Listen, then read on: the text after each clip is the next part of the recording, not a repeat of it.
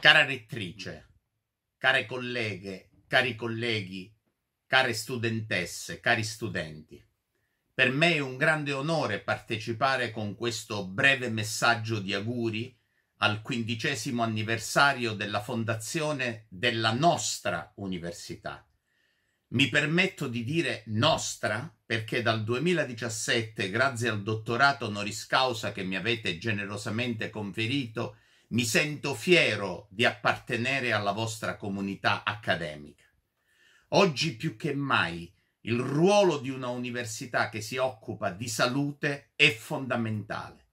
Negli ultimi 40 anni il neoliberismo ha distrutto la rete sanitaria pubblica che in molti paesi aveva garantito ai poveri e ai cittadini della classe media il diritto alla vita.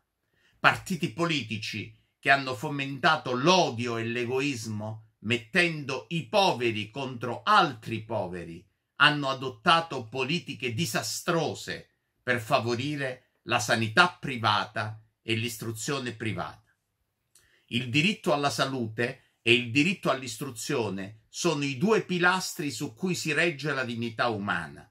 Il compito di noi professori non è solo quello di trasmettere conoscenza, ma è anche quello di formare cittadini colti e solidali, capaci di costruire una società più giusta e più egualitaria.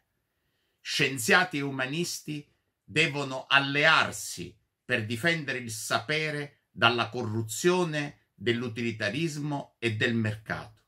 Il grande filosofo tedesco Kant ci ha ricordato che le scuole e le università devono essere soprattutto palestre per esercitare il pensiero critico, per smontare i luoghi comuni e i falsi valori della società. Oggi invece scuole e università rischiano di allevare consumatori passivi che inseguono le mode tecnologiche e il mito del guadagno.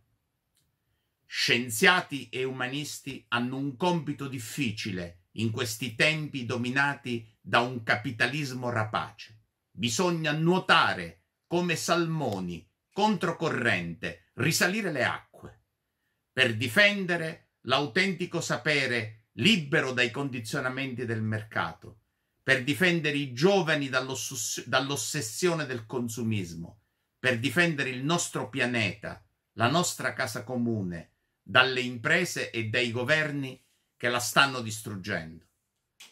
Questo quindicesimo anniversario cade in coincidenza del nuovo anno.